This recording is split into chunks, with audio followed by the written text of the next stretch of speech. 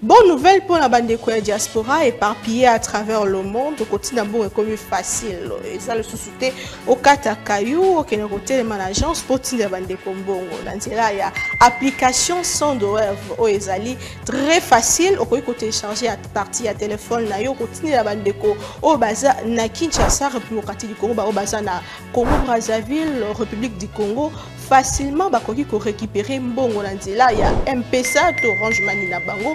Eyo esika ozali bonne nouvelle ya mibale ezali ke soki otélécharge application sandware ekotindi na code promo buzz tv okozwa 10 dollars lokola bénéfice. Donc il y a pas mieux télécharger mokona lelo. Makambo kotelema na agence cécile il y a pas mieux que ça. Tinda mbongo na facilité dès aujourd'hui télécharger sandware na nzela ya téléphone na yo plus facile il n'y a pas mieux.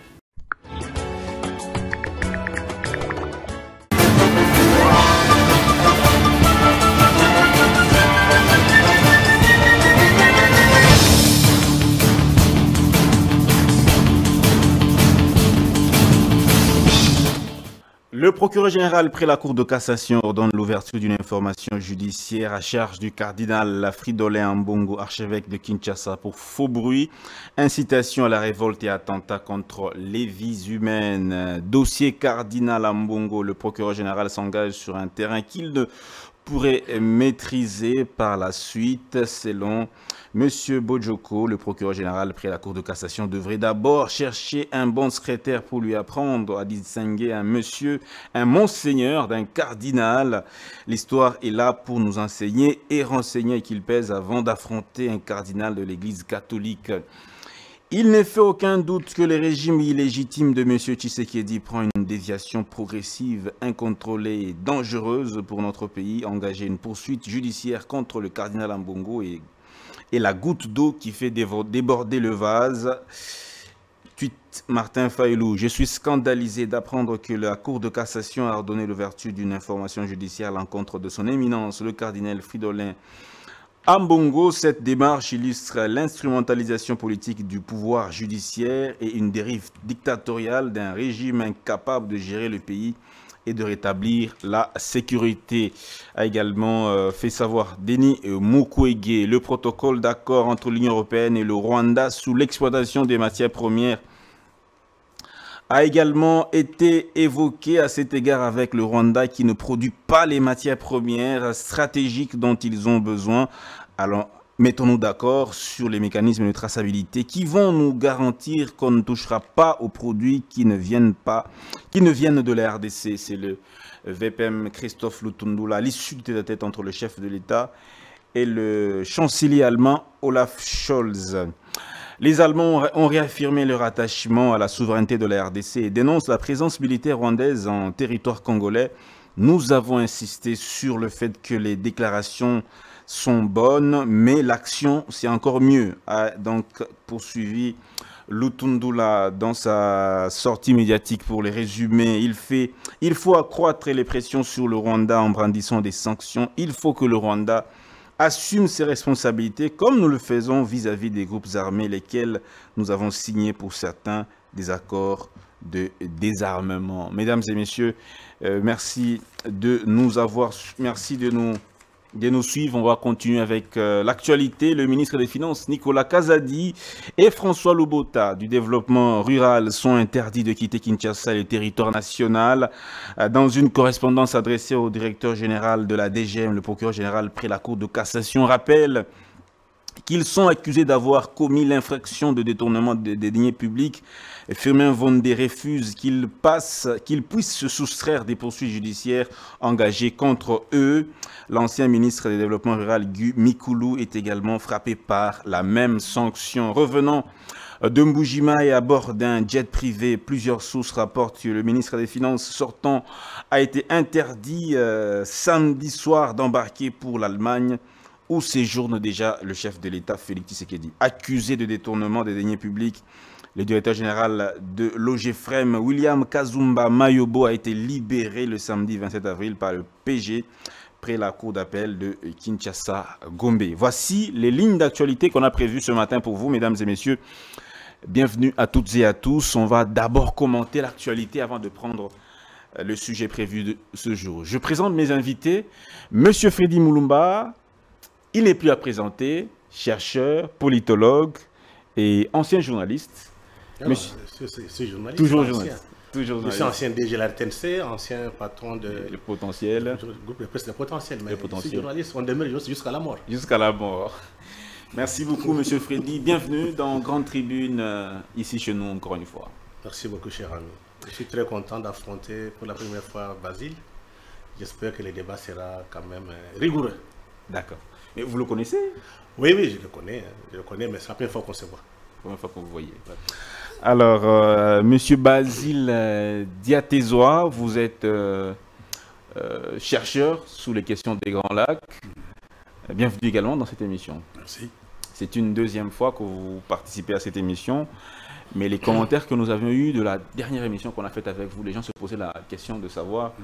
vos origines. Est-ce que vous avez des origines rwandaises C'est curieux quand même, comme remarque.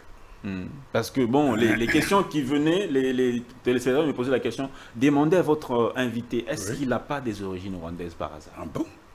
Ben écoutez, s'ils veulent euh, le savoir, j'ai grandi à Dallas, à Yolo, ici à Kin.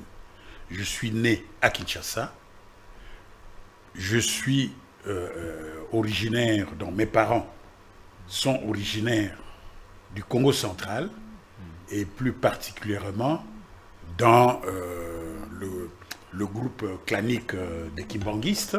Hein, donc, euh, ceux qui connaissent ma famille vont rigoler quand ils vont apprendre qu'on se pose des questions sur mon origine. C'est ridicule. C'est ridicule. Il faut être vraiment dans les égouts de la médiocrité pour se poser une telle question. Ah bon Franchement. Ah. J'ai grandi à Yolo, à Dallas. La, maison des parents est toujours là, ils peuvent aller vérifier. Hmm. Voilà. C'est la question. Et à la paroisse Saint-Gabriel, hmm. le terrain de basketball, tout ça là, c'est nous les jeunes du quartier qui l'avons construit. D'accord. Voilà. J'ai juste rapporté la ah, question. C'est ridicule. De nos différents téléspectateurs bah qui se posaient cette question-là. Au moins poser des questions sur les idées qu'on avance, pas pas sur, euh, l'origine. On veut savoir si je suis de père ou de mère. Non, c'est ridicule. Monsieur Basile Yatezoa est 100% congolais. Voilà, on l'a retenu. On va commencer d'abord par euh, commenter l'actualité, comme je l'ai dit avant de prendre le sujet du jour. Cette euh, visite du chef de l'État en Allemagne, depuis euh, le week-end, le chef se journe en Allemagne. Il a rencontré le, premier, le chancelier allemand, monsieur Olaf Scholz, à l'issue de cet entretien, le VPM des Affaires étrangères, Christophe Lutundola, s'est exprimé. Je crois que je l'ai dit d'entrée de jeu. Euh, faire pression sous le Rwanda. Il a parlé des matières premières, le soutien de l'Union européenne euh, au Rwanda, euh, mettre la pression sous le Rwanda toujours. Monsieur Freddy, Freddy Moulumba, votre, votre, point de vue sur cette rencontre entre Olaf Scholz et Félix Tshisekedi, pensez-vous que ça peut avoir une incidence positive sur la question, sur la résolution de l'insécurité dans la région des Grands Lacs Oui, euh, je pense que quand le président Tshisekedi était euh, élu la première fois, il est passé par l'Allemagne. 15 jours après, nous, étions invités par les patronats allemands, donc euh, la fondation Konrad Adenauer. On était moi qui m'a chez toi. On a été invités. Nous avons eu des discussions en profondeur sur la question du Congo. Ils veulent comprendre ce qui se passe. Parce que généralement, les Européens ne veulent pas entendre l'autre discours. Hein, les Allemands ont dit non, on doit écouter tout le monde, même, si, même ceux avec qui on n'est pas d'accord. C'est ce cadre-là qu'on a été reçu avec les vieux Kibambi, on en a discuté. Et c'est que j'ai remarqué que l'Allemagne s'est démarquée totalement des globalistes. Donc, ceux qui soutiennent beaucoup plus Kagame, Museveni dans cette mafia, dans, dans, dans ces crimes contre les Congolais, contre les pillages, sont des globalistes. Ces globalistes ne contrôlent pas l'Allemagne. J'ai senti ça dans les discours. Et puis au-delà de ça, les Allemands sont très rigoureux. Vous savez, la pensée occidentale, c'est dans l'Allemagne. Tous les grands philosophes, pour la plupart sont allemands. Ils sont très rigoureux. En Allemagne, quand vous volez, vous êtes magouilleur, vous êtes exclu de la société. Donc l'Allemagne ne peut pas se permettre de venir faire, soutenir ce que Kagame et Museveni font au Congo. Mais, l'aide de 20 millions de dollars qu'on a. C'est l'Union européenne, c'est pas l'Allemagne. Ça, c'est le premier élément. Mais l'Allemagne est membre de l'Union. Oui, l'Union européenne, c'est c'est différent de l'Allemagne. Deuxième élément, l'Allemagne n'est pas tellement d'accord avec euh, les Américains sur la gestion du monde. Les Allemands sont dans une vision, euh, euh, comment on appelle ici, euh, des mondes multipolaires. Or, les Américains ne veulent pas accepter ça. Ils travaillent avec tout le monde. Tu vois, ils sont en Chine. hein, Le, le président, premier ministre allemand est parti en Chine. Il travaille avec les Chinois. Il travaillait avec les Russes, il n'y avait pas de problème. On est parti même, on a fait partout le moyen pour que l'Allemagne et la, et la Russie travaillent ensemble. Donc, dans l'histoire du monde occidental, l'Allemagne, les Allemands ont été toujours euh, un peuple rigoureux et sérieux. Ça, c'est l'élément. Mais il y a aussi une dimension historique. Les Congolais ne doivent pas oublier. Berlin, c'est où? C'est en Allemagne. C'est là où il y a eu la conférence de Berlin. L'Allemagne est parmi les puissances qui ont aussi l'accord de Berlin. Il ne faut jamais l'oublier. Et quand Léopold II a instauré son, son régime euh, génocidaire euh, euh, au Congo, les Allemands en ont payé. Il y a eu même un Allemand qui a été euh, euh, pendu par les policiers, donc les militaires, les soldats de Léopold II. Donc l'Allemagne a tout un background historique. Donc pour eux, euh, je pense que c'est ce qui est positif. Ce n'est pas un peuple qui a une culture de magouille. Non. C'est différent avec les Allemands. Donc euh, je pense que euh, si les présidents commençaient par l'Allemagne, c'est pour avoir des assurances. Les Allemands ne viendront jamais ici voler et piller. Il y aura des aventuriers hein, qui viendront faire. Mais pas l'État allemand. Dès qu'on apprend que tu es dans des magouilles, les documents sortent en Allemagne le même jour, tu es à la porte de la société. Donc c'est un État, euh, je peux dire une civilisation, Un partenaire fiable pour le Congo. très fiable, rigoureux. Les Allemands avaient déjà prévu pour construire les chemins de fer avec Siemens quand le président était passé, de, de jusqu'à euh, au Katanga, qui ont refusé les anglo-saxons. Donc, nous sommes aussi dans cette position entre anglo-saxons, entre Allemands et euh, les Britanniques. Et vous allez voir ce qui se passe à l'Est. La plupart des entreprises qui sont, qui se tiennent à Kagame, ce sont beaucoup plus les entreprises anglo-saxonnes. Les Allemands sont aussi là-bas, mais ils ne sont pas nombreux. D'accord, monsieur Voilà pourquoi le président est parti parler, parce que le président est très clair quand il parle, il marche les mots. Il a parlé à tous les chefs d'État du monde, ce que Kagame fait dans ce pays. Et pourquoi ce silence Je pense que les Allemands ne parlent pas beaucoup. Vous verrez d'ici peu que la peur changera de camp. D'ici peu, la peur changera de camp. Monsieur Basile votre avis à ce sujet sur euh, la visite du chef de l'État dans la... en Allemagne? Est-ce qu'on peut attendre des, des retombées positives? Oui, mais c'est une mission diplomatique très importante, hein, c'est normal. Euh, comme il y a cette crise au niveau des Grands Lacs, et que l'Allemagne euh, est un pays euh, qui a quand même euh, un passé colonial. N'oubliez pas que le Rwandais et le, Burundi étaient des colonies allemandes. Euh, N'oubliez pas que est issu euh, de la famille de Saxe-Cobourg. C'est un Saxe-Cobourg, donc allemand. Sont des Allemands. hein. Quand on parle de la conférence de Berlin, euh, il y a le prince Bismarck qui avait initié cette conférence. Bismarck, c'était le cousin de, Léopold II.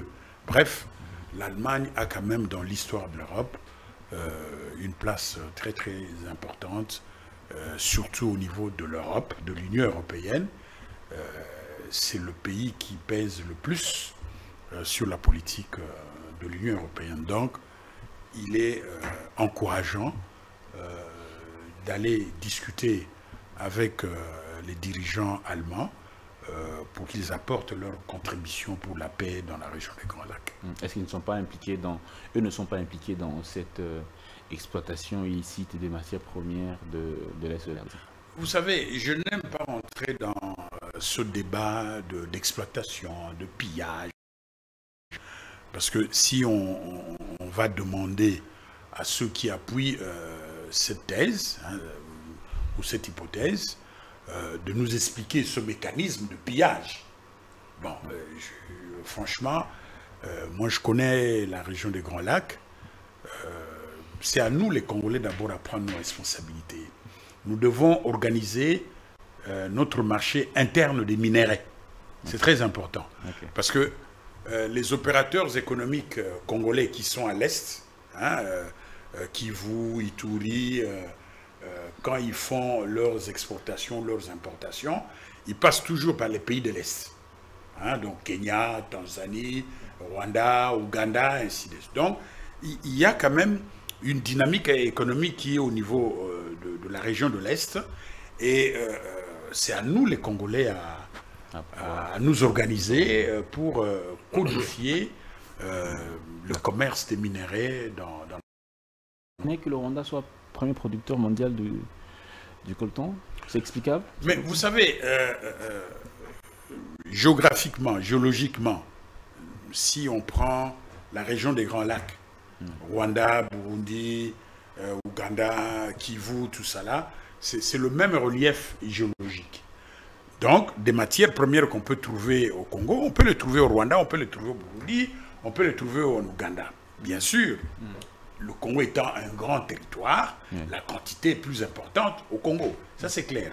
Mais euh, euh, si on, on- on- on essaye un peu de comprendre euh, ce phénomène de transactions minières dans cette région, bon, vous savez qu'il y a une législation internationale euh, sur le commerce des minéraux dans les zones à conflit, dans les régions à conflit, euh, qui est supervisée par euh, l'ITRI.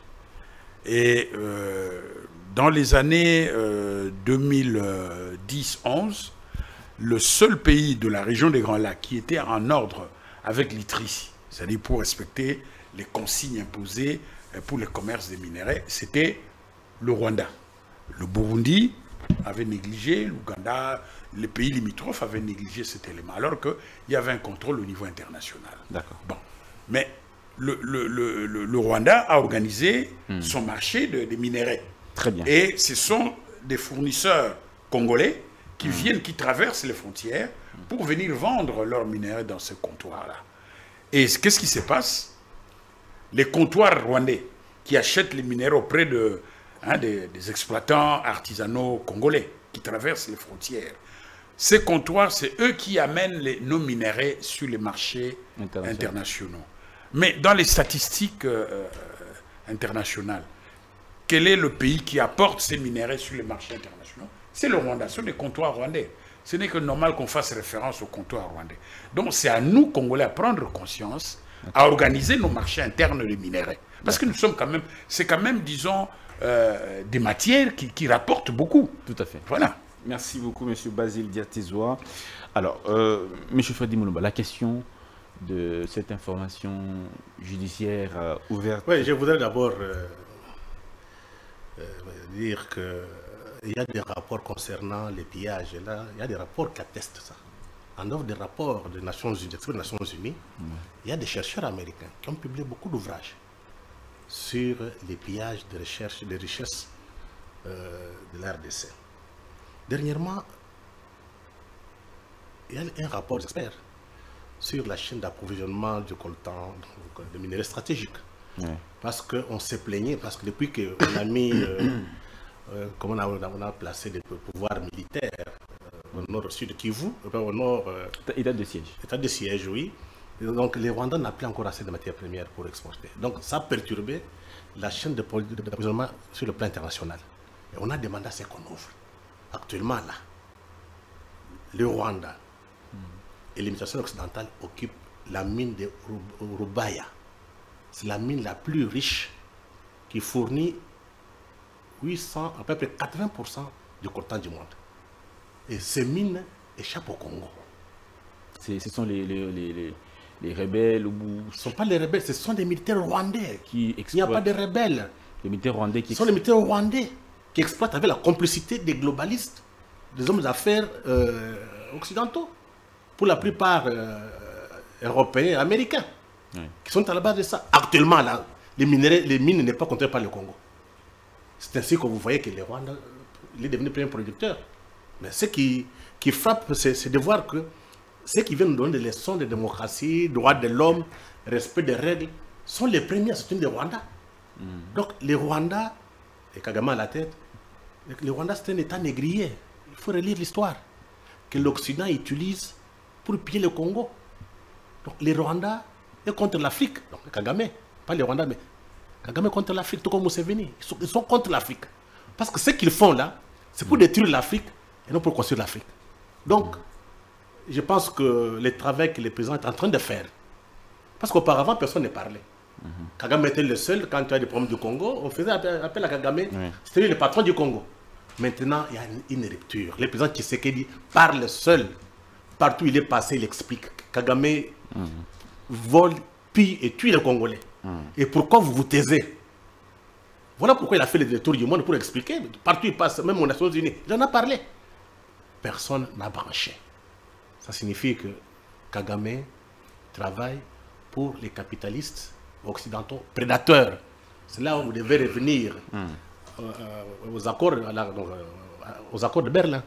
1885. Jusqu'à présent, les capitalistes prédateurs occidentaux estiment que les richesses du Congo leur appartiennent. Voilà le fond du problème.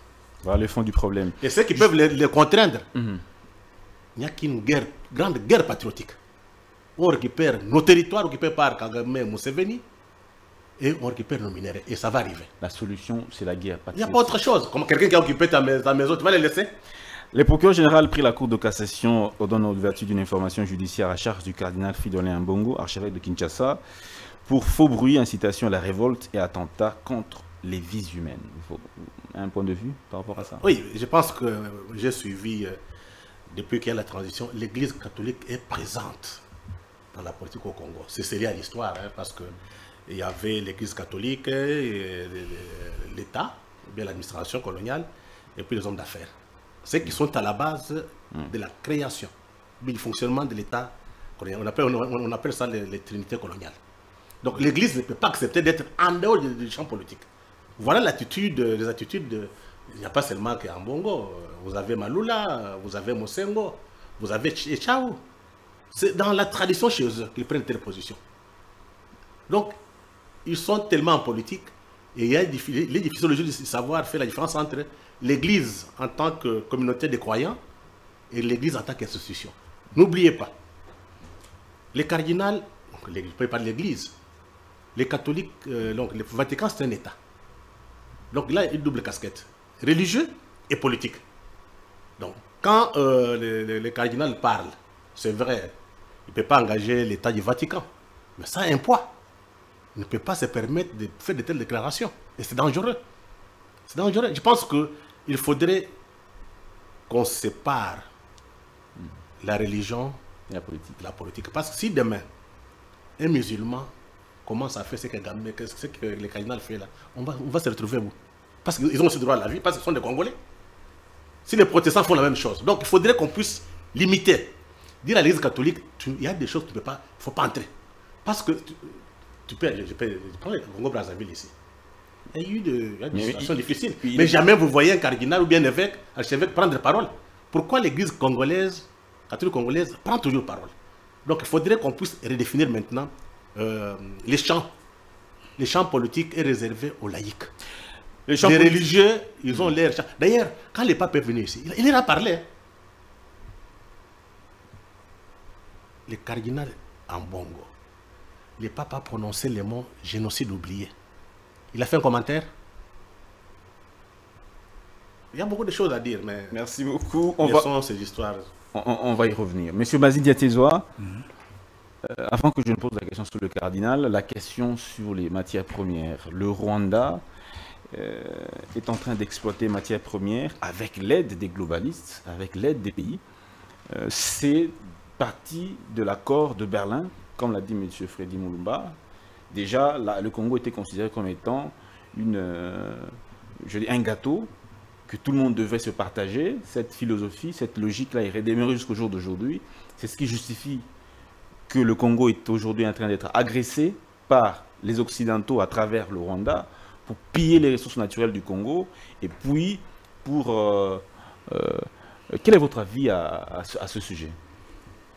Ben, euh, écoutez, moi je crois que c'est plus de la spéculation. hein, quand on va partir, euh, euh, on voudrait faire une rétrospective historique en liant la création de l'État indépendant du Congo à la situation actuelle, je crois que ce sont des fantasmes intellectuels. En ce sens que toute communauté humaine qui s'organise en communauté politique poursuit des objectifs. Et pour réussir, pour atteindre ces objectifs, il doit se donner un instrument. Cet instrument, c'est un État viable et responsable. Parce que si, dès le 30 juin 1960, nos gouvernants se sont donné la peine de construire un État viable et responsable qui intègre toutes les communautés, toutes les populations congolaises dans cette nation congolaise, on n'allait pas connaître les dérives actuelles. Pour avoir une armée dissuasive, il faut un État viable et responsable. Si nous sommes conscients que notre pays est convoité par des puissances occidentales, par des pays limitrophes, qu'avons-nous fait pour empêcher cela? Qu'avons-nous fait? Quelle est notre part de responsabilité? Donc, aujourd'hui, nous nous retrouvons devant une situation de faiblesse. Nous devons d'abord nous en prendre à nos propres turpitudes. Mais ce qui est sûr, c'est que le Rwandais profite donc de notre faiblesse. Mais écoutez, l'histoire, de l'humanité est là pour nous éduquer. L'histoire de l'humanité est là pour nous éduquer. Si vous avez des richesses qui sont convoitées, ce n'est que normal que les autres euh, euh, viennent, euh, disons, par la ruse ou par la force. D'ailleurs, la colonisation, c'est quoi? C'était ça. Donc, c'est à nous à prendre conscience que notre première dev- premier devoir, c'est de construire un État viable et responsable. Mais tout ceci passe par la guerre. Nous devons Mais- mener une guerre, une guerre patriotique Non, pour mais la- libérer notre vous pays. allez faire la guerre si vous n'avez pas un État viable et responsable. C'est un suicide. On ne fait pas la guerre n'importe comment. Vous comprenez? Si vous voulez faire, euh, disons, euh, avoir une communauté euh, politique belliqueuse, euh, vous devez vous organiser en conséquent. Je crois que je me fais comprendre. Qu'est-ce que vous voulez dire par là exactement? Mais- nous, mais- nous sommes un État organisé, nous avons une armée républicaine, Mais- nous, avez- nous avons des institutions, nous avons le pouvoir judiciaire, Mais le les- pouvoir les- les- législatif. oui, mais écoutez, euh, Nous sommes un État. Euh, quand je dis bien un État viable et responsable, je me fais comprendre. On- on- je prends un exemple facile. Tout le monde sait que les budgets qui sont alloués pour les militaires qui sont au front sont détournés à partir d'ici par des responsables politiques et militaires. Et là, la faute à qui? C'est pas grave ce que vous dites. hein. non, mais c'est connu, c'est- publié dans les journaux, tout ça là. Depuis, euh, euh, euh, avant... le- Depuis Mobutu. mais bien sûr, c'est- mais c'est connu. Quand la guerre de l'AFDL a commencé, il y avait la brigade blindée à, à. Mobutu demande à ce qu'on aille chercher les chars pour euh, euh, contribuer à la guerre. Qu'est-ce qu'on a constaté? Tous les moteurs étaient volés. Tous ces moteurs se retrouvaient dans des bateaux de généraux qui, faisaient les navettes euh, sur le fleuve Congo. Voilà. La, la faute à qui? C'est à nous-mêmes, Congolais. Merci beaucoup, monsieur. Alors, un petit mot sur le Donc, cardinal. Nous Un- payons nos propres un, turpitudes. petit, un petit mot sur le cardinal. L'information judiciaire Ben, ouverte écoutez, contre... euh, le cardinal, c'est un citoyen congolais. Euh, ce n'est que normal que euh, s'il constate qu'il y a des injustices ou qu'il y a des violences, ainsi de suite, il peut prendre position en tant que citoyen congolais. quand Ça, c'est clair. quand même assez grave Mais, ce qu'il a dit. hein. Pardon? C'est quand même assez, assez grave ce qu'il a dit. Ce qu'il a dit là. qu'est-ce qu'il a dit? Que le gouvernement Oui. euh, est en train d'armer les FDLR.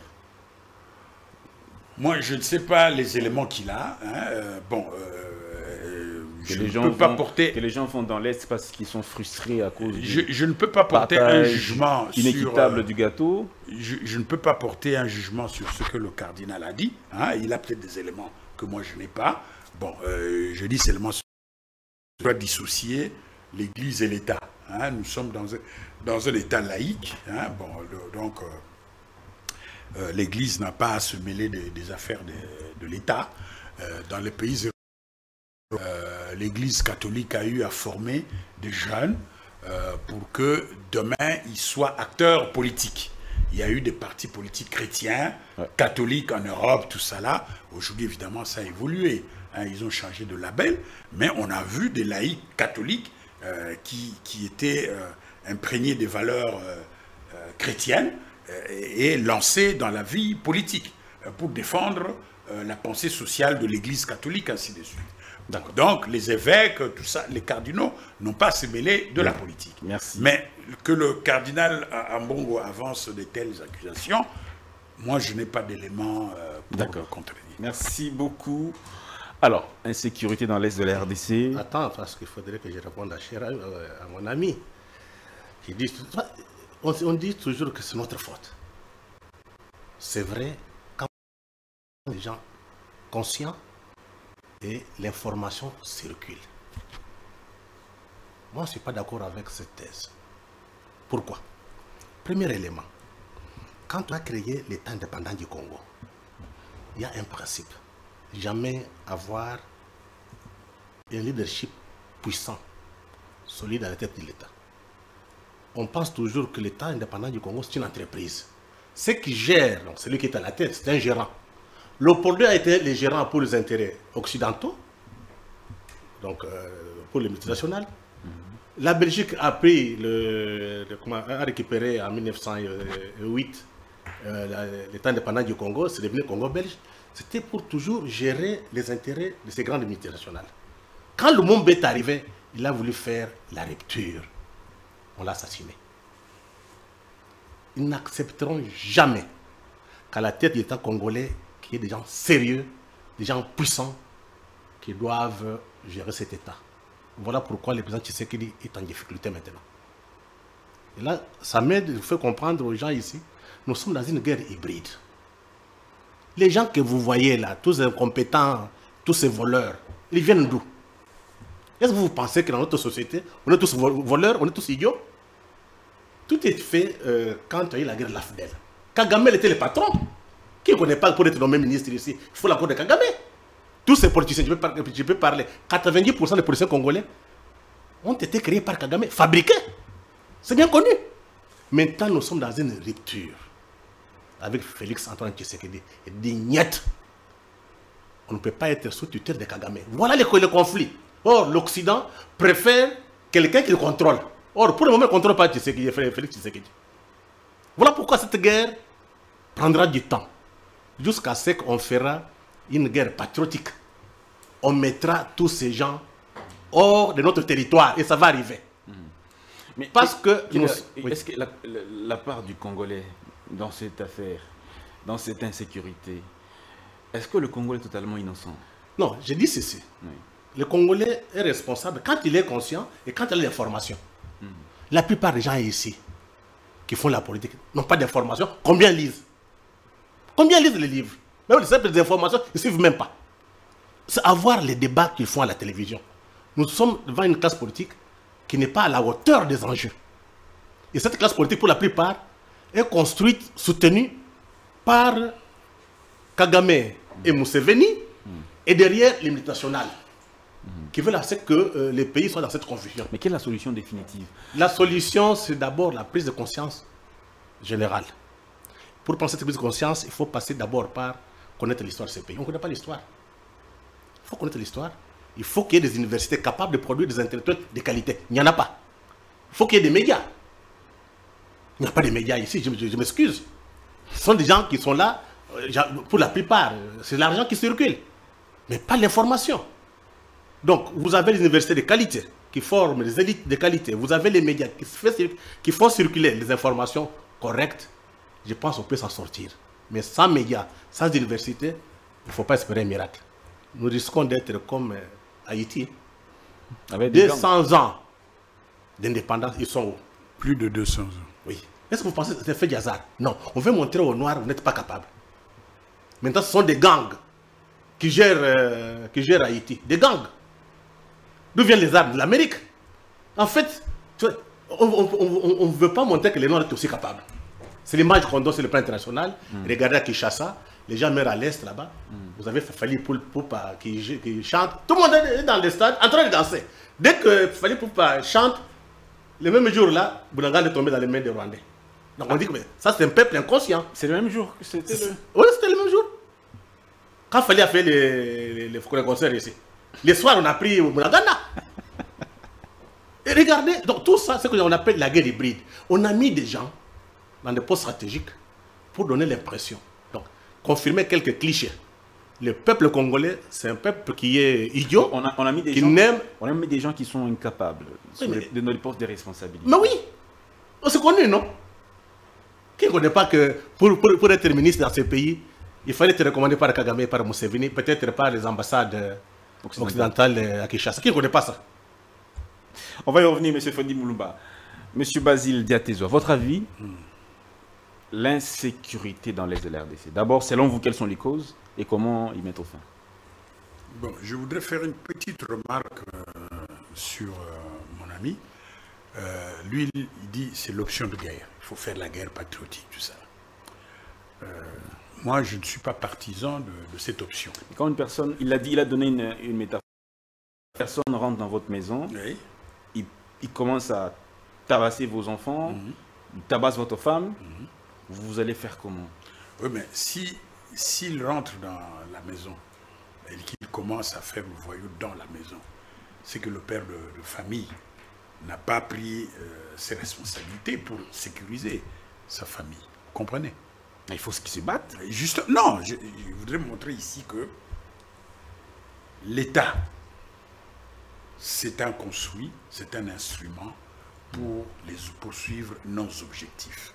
Donc nous devons depuis plus de 63 ans que nous sommes euh, un, un pays souverain, nous n'arrivons pas justement à mettre en place un État viable et responsable, capable d'assurer la sécurité des personnes, des biens, d'assurer l'intégrité de notre territoire, ainsi de suite.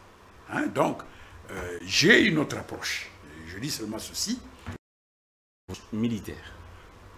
Non, je dis dans le contexte actuel, je ne suis pas partisan d'une solution militaire. Pour quelle solution alors, M. Pour moi, il faut une solution politique. Comment? Et euh, euh, pour arriver à cette solution politique, il faut d'abord comprendre la problématique, le principe de causalité. Pourquoi il y a ces violences à l'Est? Nous devons d'abord comprendre. Parce que si on ne comprend pas, on, sera, on, va encore commettre des, des turpitudes pour des décisions euh, qui, vont aggraver les contradictions, ainsi de suite. Pourquoi? Parce qu'on n'a pas fait cet effort de compréhension. Donc, d'abord, comprendre l'origine, le principe de causalité. Dès lors que nous avons et que nous avons pris l'option de construire la paix pour intégrer toutes les communautés. Parce que on soit plus de indépendance que une partie des Congolais, une population congolaise, soit exclue de la nation congolaise arbitrairement, soit disant que ceux-là, ils ne sont pas congolais. Vous comprenez un peu ce que je veux dire Dès lors que, plus de 63 ans après l'indépendance, nous sommes encore au stade d'accepter l'autre pour un destin commun, ben, il nous sera difficile d'apporter des solutions idoines à, à nos différentes problématiques. politique, selon vous, ce serait laquelle? La solution politique, c'est que ceux qui ont pris les armes, ils ont des griefs. Parce que souvent, on- euh, actuellement, euh, euh, beaucoup de- d'acteurs politiques, des- d'intellectuels, des, des- des universitaires veulent limiter euh, euh, leurs analyses à la prise du pouvoir, à l'arrivée du pouvoir de Kagame en 94. Non, je crois que il faut une rétrospective historique pour comprendre euh, toutes ces contradictions au niveau de la région des Grands Lacs et arriver justement à, donner une perspective pour euh, pacifier euh, la région, le pays, la région de l'Est, ainsi de suite. Et je crois que euh, ceux qui ont pris les armes, il y a des causes. Pourquoi ils ont pris des armes? Venez, vous, vous dites que vous êtes Congolais, venez, on va discuter. Là, l'approche, c'est que déjà dès le départ, apparemment, vous ne partagez pas les mêmes points de vue, Oui. parce que M. Fedi dit que c'est des Rwandais qui sont là. Il y a et les Rwandais, quand ce sont des Rwandais, il n'y a pas question de... C'est une agression déjà. Oui, bien sûr, c'est le narratif dominant actuellement sur le plan politique. Euh, Kabila n'avait pas ce narratif. Euh, et je crois que euh, quand Laurent a rejoint les jeunes qui avaient, qui, étaient à l'origine révolte à l'Est pour créer l'AFDL, il n'y avait pas ce narratif. Vous comprenez? Bon, ce n'est qu'après qu'on a commencé à développer un tel narratif pour dire que voilà, ces gens-là, ce ne sont pas des Congolais, ainsi de suite, tout ça. Déjà à l'époque de Mobutu, on avait retiré la nationalité zaïroise à tous les Tutsis, y compris ceux qui sont Congolais de souche, les Zaïrois de souche. On leur a retiré la nationalité avec la loi, euh, l'application de la loi de 1981. Donc bref, les, contradictions... Euh, c'est là que le, problème a commencé. Non, le, non, le problème a commencé dès l'indépendance, dès l'indépendance, au niveau local. Parce que c'est parti euh, des régions, des localités. Hein. Il faut intégrer ces gens-là qui se sentent... il faut intégrer, il faut non, le vivre ensemble. Quand, quand, nous parlons d'intégrer toutes les communautés, il n'y a pas seulement, par exemple, les, les Tutsis ou les Hutus, les Pygmées. Au Katanga, juste parce qu'on n'en parle pas, au nord du Katanga, il y a toujours des guerres entre et les Baloubakats. Ils s'entretuent. D'accord. Voilà. Hmm. Merci euh, beaucoup. Merci. Et vous, allez à Nituri, hmm. vous avez les, les, les, Lendou et les, Mais il y a agression quand même. Mais agression comment C'est les Hema et les Lendou qui se battent là-bas. L'Ouganda et le Rwanda nous agressent quand même. Ben, L'Ouganda est dans, dans ce conflit-là chez nous au Congo sur demande l'accord avec le gouvernement. Le Rwanda. Avec notre gouvernement. Le Rwanda. Le Rwanda a ses revendications sécuritaires. Hein, je ne sais pas quels accords il y a eu hmm. dans le passé, euh, euh, hmm. quelle est la politique actuelle, bref, il, faut approfondir la réflexion pour arriver à une solution politique idoine. Voilà. Merci. Alors, euh, il faut intégrer, c'est la solution politique que propose M. Bastien. Ce n'est pas une solution militaire comme vous le présagez. Pour lui, il faut une solution politique qui passera par l'intégration de toutes les communautés, que ce soit dans le Katanga, dans le sud Kivu, un peu partout. C'est une erreur d'analyse. Pourquoi? Pourquoi les Tutsis burundais ne posent pas problème au Congo? Pourquoi les Tutsis qui sont ailleurs, ne sont pas seulement au Congo, pourquoi ils ne posent pas de problème au Kenya? Pourquoi les Tutsis congolais posent problème? Il y a des, Tutsis, il y a des Tutsis congolais. être congolais, c'est la nationalité, ça n'a rien à voir avec l'ethnie. Tu peux être Tutsi, Hutu, Moluba, Mukongo, mais tu es de quelle nationalité? Je suis congolais, point très. Ce n'est pas ethnique ça. Donc il y a des populations, tout, surtout comme Hutu, qui sont des Congolais, parce qu'ils ont la nationalité congolaise. C'est très clair, il n'y a, pas de discussion. Mais les problèmes qui se posent ici, pourquoi ils posent problème? Ah, principe de causalité. Oui. Il faut chercher. Je t'explique. Voilà, il faut chercher à comprendre. Je t'explique pourquoi ils posent problème. Voilà. C'est là où il y a une dimension géopolitique qui intervient. Il y a ce livre ici écrit par un Rwandais qui est bien connu, c'est Uratizi Bois, Privat. C'est en 1999. Les crises des Grands Lacs et la question Tutsi. Réflexion sur l'idéologie du génocide dans la sous-région. C'était Rwandais qui a écrit. Ce n'est pas écrit par un Congolais. Et quand vous les lisez en profondeur, d'abord, le livre est sorti après la, guerre euh, de. Ce n'est pas avant. Qu'est-ce qui se passe? Je viens, de vous parler ici de la dimension géopolitique on utilise la dimension ethnique pour masquer les intérêts géopolitiques. Les Tutsis ont vécu ici. Bisengimana était, était du cabinet de Mobutu. Est-ce qu'il y avait un problème? Pourquoi le problème se pose après? C'est quand les Américains ont décidé, quand je dis américain, c'est l'administration Bill Clinton, ils ont décidé avec d'autres capitalistes pour reconfigurer l'Afrique des Grands Lacs. Et pour cela, on fait comment? On va chercher les, les, réfugiés, les, réfugiés Tutsis qui étaient éparpillés à travers les Grands Lacs. On a pris Kagame, qui était euh, euh, travaillait avec Museveni comme patron de de renseignement. On a les Américains l'ont formé avec un objectif prendre Kigali, après Kigali, prendre Kinshasa. Les documents l'attestent. Mais on utilise les Tutsis, parce qu'il faut que les Tutsis comprennent.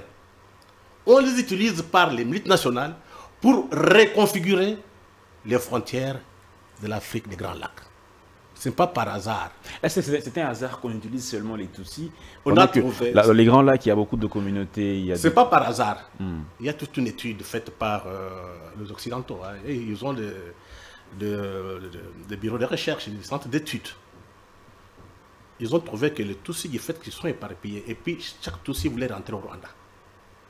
il y a un politicien congolais qui m'avait dit, quand on avait chassé les Kassaïens du Katanga, les Américains voulaient passer par les Kassaïens pour déclencher la guerre contre Mobutu. Parce que le problème, c'est comment chasser Mobutu et mettre la main sur les richesses. On a trouvé que c'est difficile pour les Kassaïens, ne vont pas accepter de jouer les jeux. C'est comme ça qu'ils sont rebattus sur les Tutsis. Parce que euh, tu vois, les gens comme les Kagame étaient dans des camps. Des gens qui étaient euh, dans le régime de la famille, quoi. Qui étaient euh, à la tête de, de l'État rwandais. Le lendemain, ils sont éparpillés sans avenir. Dès qu'on leur a proposé un projet, ils ont euh, mordu à l'hameçon. Et depuis lors, l'insécurité Non, non, non, on les utilise jusqu'à aujourd'hui. on les utilise. La seule façon d'y mettre fin La seule façon d'y mettre fin, euh, ça c'est ce que j'ai dit, il faut qu'il y ait un leadership fort à Kinshasa. Quand il y a un leadership fort, parce que je me rappelle, quand Mobutu était ici, chef de l'État, on payait les Tutsis, là, donc pardon, les Rwandais. On payait au Rwanda, on payait au Burundi, même l'Ouganda. Donc le problème est que le leadership congolais s'est effondré. Les Américains ont utilisé euh, Museveni et Kagame hmm. pensant reconfigurer, reconfigurer le, les grands lacs ou bien l'Afrique centrale, hmm. mais ils n'ont pas de moyens, ni en personnel, ni euh, en matière de, de, richesse. Hmm. Ce sont des pays, des pays enclavés. Or, le Congo est au centre. Quand le Congo sera stable, avec des élites solides, pas une élite, avec des élites solides, qui ont la dimension, une vision de, euh, la volonté de puissance. Parce que gérer l'Afrique centrale, il faut des hommes puissants. Et des ambitions de grandeur. Pour le moment, la plupart des gens qui, sont, qui font la politique à Kinshasa sont des fabrications de Kagame. Ceux qui brûlent les cartes. Mais je pense qu'avec l'arrivée de Fachi, les signaux sont commencés à... on commence à voir des signaux. Il suffit que Kinshasa, qui est... Quand je dis élite, hein, ce n'est pas un individu, hein, euh, qui est euh, les élites collectifs. Collectifs, pardon. Vous avez au niveau des églises des gens solides, comme du temps de Mobutu là. Au niveau des penseurs, au niveau des universités, au niveau des joueurs, parce que les léopards avaient battu tout le monde ici. Les gens ont toujours tendance, à oublier. En 1974, c'est pour rappeler aux gens. Il faut vite relire l'histoire. Le Congo doit retrouver sa puissance pour qu'on soit capable de gérer et le Rwanda hmm. et l'Ouganda, donc gérer toute l'Afrique centrale. centrale. Si le Congo est malade, l'Afrique centrale sera malade. Donc il faut que les Congolais comprennent, nous avons une mission d'organiser toute l'Afrique centrale et on ne peut pas accepter des petites euh, élites comme les Kagame là, eh. venir nous diriger. Merci donc, beaucoup. refuser, donc il faut cultiver la volonté de puissance. D'accord, monsieur. Parce que la nature a fait ce qu'on soit là où on est. Merci énormément. Je crois que vous partagez les mêmes points de vue. Non, je ne sais pas... C'est un problème de... non, lui, non, non, non, lui, il, focalise non, il dit, sa pensée. C'est un problème de leadership. À Kinshasa, il n'y a pas un Mais leadership Vous savez, Mobutu, le Zaïre de Mobutu avait dominé l'Afrique centrale. Vous vous rappelez oui. Mobutu allait euh, intervenir en Angola, mm. au Rwanda, ainsi de suite. Bon, donc là, c'est à nous, l'élite congolaise, à comprendre une chose. Mm. C'est que notre pays est convoité, que ce soit par les puissances occidentales ou par les pays voisins, ainsi de suite, notre pays est convoité à cause de ses richesses.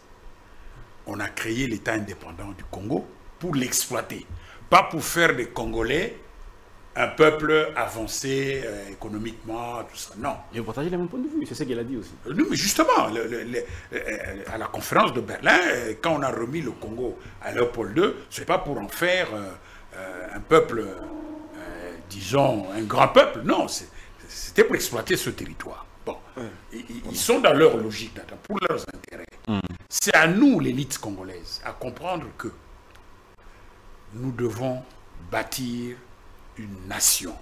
Et c'est l'État viable et responsable qui sera capable de le faire pour construire cette nation consciente. Ah, c'est les mêmes points de vue. Non, lui, lui, il focalise sa pensée sur la personne de Kagame. Parce qu'il il, a affirmé tantôt. Non, non, il a affirmé tantôt. Je viens de dire ici Il y a des, des- des- des dirigeants qui sont imposés par Kagame, ainsi de suite. Non, non, pas, pas des dirigeants. Oui. Il y, a, il y a la classe politique ici. Oui, c'est ça justement. Mais, mais- et même les disent ouvertement, c'est Kagame le Mais patron. Voilà pourquoi tout le monde tremble quand Kagame parle. Ne mystifions pas Kagame. Je dis qu'ici, à Kinshasa, tu oui. peux demander même à, notre évêque, euh, archevêque, combien de gens citent Kagame quand ça ne marche pas? Non, je n'approuve pas. Vous ne verrez pas C'est à nous, à- le défi, le grand Ah, défi. Ok, ok, ok. Nous devons nous organiser à l'interne d'abord. On est très faible. Je, Oui, dis, donc il faut la volonté de puissance, Oui, des ambitions de grandeur Mais pour ces pays. nous- nous sommes- Mais quand vous avez des petites élites créées par Kagame, il ne faut pas Non, espérer pourquoi miracle. Kagame Pourquoi Kagame? Mais faut pas pour être- référence à pour être- Kagame. pour être nommé ici, mon frère,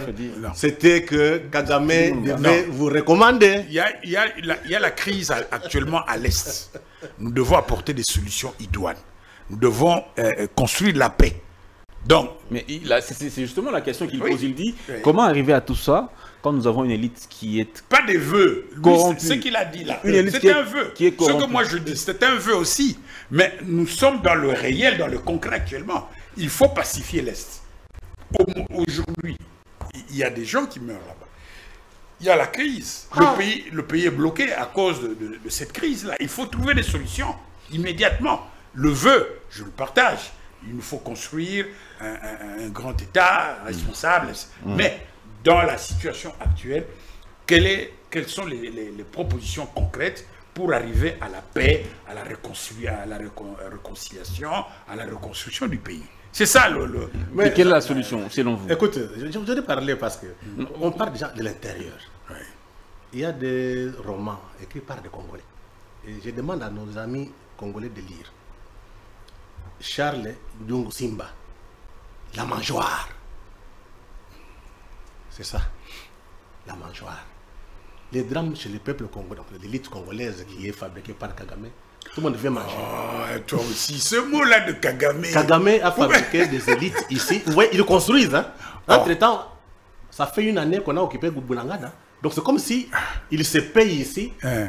Donc, euh, C'est presque deux ans maintenant. eh oui, eh oui, ça fait des ans, non? Presque deux ans. Donc on leur dit non, non, construisez vos maisons, 5 étages, 10 étages.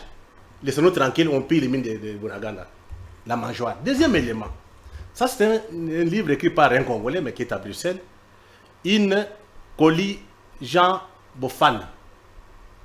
Mathématiques congolaises. Toi, tu es à Bruxelles, je pense que tu dois le connaître. Ce que vous voyez ici, pour la plupart des gens qui font la politique, sont des porteurs de, de masques. Donc, euh, le, président Boss disait quoi? C'est. euh, Quitter les groupes armés. Non, non, non, il parlait de, des théâtres de chez nous.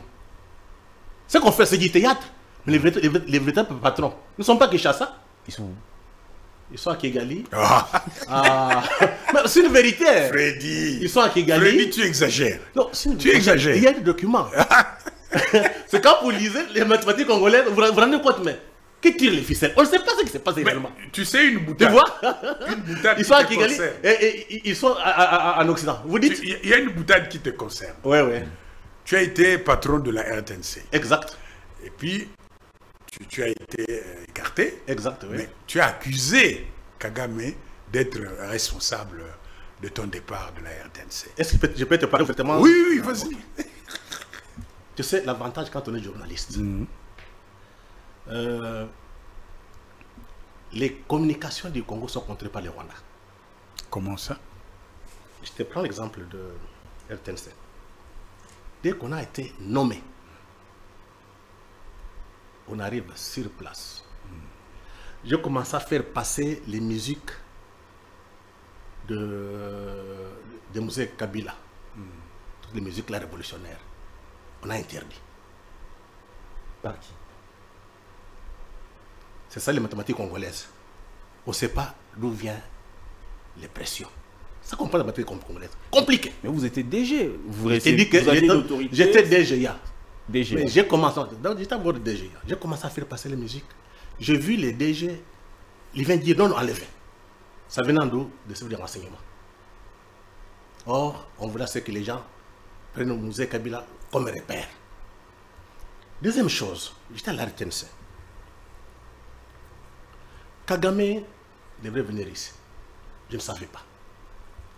Au même moment, euh, les troupes rwandaises sont entrées, c'est qu'on dit homme 23.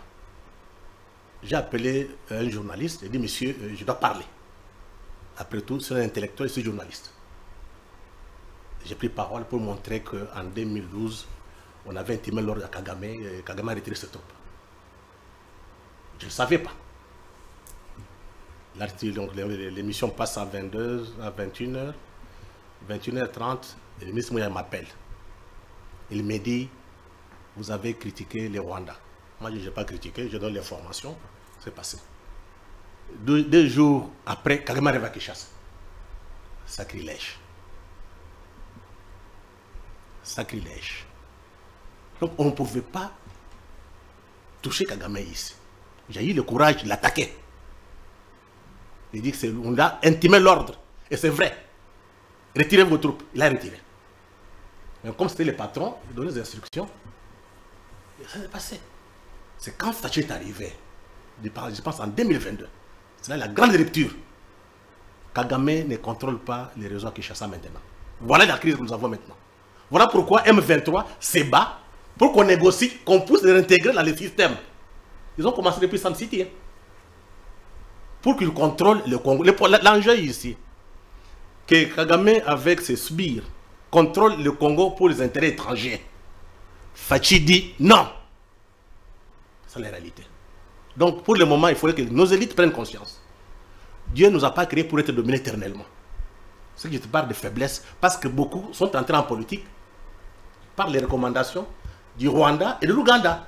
Voilà pourquoi quand la crise éclate, le président Tshisekedi parle, personne ne prend les relais. C'est la réalité. Mais je pense que ça fait partie de l'histoire d'un peuple. Euh, Kagame a fait son temps comme Mobutu. Je pense que le temps qui s'ouvre, c'est le temps de Félix Tshisekedi. On a changé de paradigme. On avait besoin de Kagame parce qu'il fallait lutter contre le terrorisme. Aujourd'hui, nous sommes dans un paradigme de compétition entre grandes puissances. On n'a pas besoin du Rwanda. On a besoin du Congo parce que le Congo a toutes les richesses du monde. Celui qui contrôle le Congo contrôle le monde. Mais c'est qui contrôle le Rwanda. Donc, c'est que Kagame ne comprend pas. D'accord.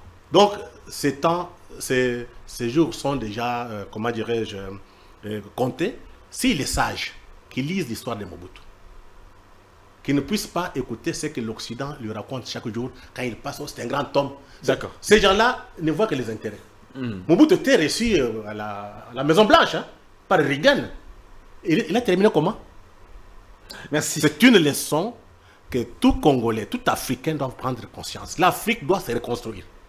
L'Afrique ne pourra se reconstruire avec des traîtres, qu'on les veuille ou non. Le monde a basculé. Cinq siècles de domination. Merci beaucoup. C'est arrivé à la fin. Merci beaucoup, M. Freddy Je pense que j'ai répondu à votre... Euh, L'émission est en train de finir. Je pense qu'on doit finir. On termine avec vous alors pour conclure la question sur M. Freddy Moulumba a décrit comment le système s'est implanté, comment ce système est en train de vivre jusqu'aujourd'hui en pillant les ressources naturelles, en corrompant la classe politique. Alors, M. Basile Tezo, Kagame. Kagame est un négrier du temps moderne, comme il le dit. Selon vous, vous qui êtes chercheur dans les questions, sur la question des Grands Lacs, vous parlez de la solution politique. Concrètement, c'est quoi? Il faut négocier avec euh, ces gens qui se battent là-bas? Euh, mon approche est vraiment différente hein, euh, de celle de mon frère. Euh, je, pars d'un fait. Il faut distinguer les inter, disons l'État rwandais du M23, qui est une, disons, une organisation congolaise. Donc, la solution d'abord, discuter M23 avec entre nous Congolais. C'est Congolais? M23, c'est des Congolais. Mais ce sont des Congolais, ils ont des revendications qui sont connues. Et surtout qu'on a mis Nanga à la tête du, du mouvement. non, je n'entre pas dans, Je dis seulement ceci. Il y, a, des revendications, des griefs hein, qui concernent euh, leur intégration dans la famille congolaise. Bon, ces griefs sont connus, même au niveau international. Il y a l'État rwandais, il y a notre État. chaque, chacun de, de ces États a ses intérêts, ses intérêts internes, ses intérêts euh, régionaux, ainsi de suite. Donc les deux États auront la latitude de discuter pour harmoniser leurs intérêts, hein, pour trouver des solutions pacifiquement. Mais l'option de la guerre, dans le contexte actuel, non seulement ça va affaiblir l'Afrique, ça affaiblit l'Afrique, mais ça détruit notre pays. Vous savez, Nous sommes déjà attaqués. il y a, y a- y a une doctrine euh, qu'on trouve ici, la balkanisation. Hein, les Congolais crient, Oh, voilà, on veut balkaniser. les Tu ne crois pas? Ça n'existe pas? Non, c'est une balkanisation. C'est- une doctrine qui a été inventée ici au Congo. Non, non, non, non, non, non, non, non. Non, non, non. Kagame, Kagame l'a non, dit. Il a, il a des terres à réclamer à l'est du Congo. Non, non, il n'a jamais Il a dit ça à Bénin, Non, au Bénin, non, non, à. Cotonou. Il a expliqué la situation. Il expliquait la situation.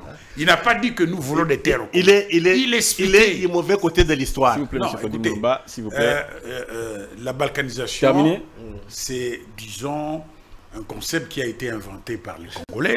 Chacun a ses arguments, ses idées, tout ça là. Mais je crois que euh, nous, si nous voulons éviter cette balkanisation, ce, ce scénario de balkanisation, comme ça s'est passé au Soudan, quand on disait aux Arabes du nord du Soudan, vous devez considérer vos frères du sud comme vos concitoyens, ils n'ont pas compris, et jusqu'à ce que la communauté internationale était fatiguée, a décidé justement d'organiser ce référendum. Moi, je crois que nous devons nous battre pour l'unité du pays, pour la paix et la reconstruction de notre pays. Et cela passe évidemment euh, par la construction de la cohésion nationale. C'est-à-dire que nous devons changer de paradigme pour que ch- chaque citoyen qui se considère congolais, eh ben, il vient autour de la table, on discute pour harmoniser notre cohabitation. C'est tout. Ouais, L'option de guerre, N'oubliez pas- jamais la dimension géopolitique. La guerre qui est arrivée au, Kinshasa- pas au Congo, c'est pas Kagame qui l'a initiée. Est-ce que nous avons les moyens d'affronter... ce sont les Américains. Est-ce que nous avons les moyens pour affronter les Américains? Puisque vous accusez les Mais Américains. je te dis que les Américains. Non, est-ce que nous avons Je les t'informe moyens? qu'au Vietnam, ils avaient tout. On les a chassés. Et vous croyez que nous, les Congolais... Nous sommes 120 capables- millions, nous sommes 120 millions, nous mettons Croyez-vous 10 millions de Congolais? Mais Vous voyez ce problème? Quand on voit ce qui se passe à l'Est... C'est parce qu'il y a des je doute. infiltrés. Mais je doute Il y a fort. des infiltrés. Les- Quand je vais te dire ici que le Rwanda a créé des gens ici, des infiltrés. Non, Ils sont dans l'armée. Justement. Voilà pourquoi Là, on a des problèmes. On pose mal la problématique. On pose mal la On va les mettre hors d'état de Et Qu'on les veille ou entraîne non, des solutions nous erronées. allons récupérer nos minéraux, nos territoires. Oui. Et Kagame, rapidement. Mais moi, Ces gens suis- qui sont derrière lui vont l'abandonner. je ne suis pas pour la solution militaire. Oui, c'est normal, c'est votre point de vue. Mais l'histoire nous montre que les peuples sont libérés. Oui, Ceux qui ont fait la grande mais- guerre, mais- ceux qui ont refusé la guerre Con- sont restés. Construisons d'abord cet État Non, non. qui va nous donner les moyens d'avoir une armée dissuasive. L'État s'est construit avec des guerres. Non, Lisez l'histoire. Non, non, je ne pense pas. Mesdames et messieurs, c'en est fini pour ce jour. Merci de nous avoir euh, été fidèles. On vous dit donc à demain sur votre chaîne Congo Buzz. À très bientôt.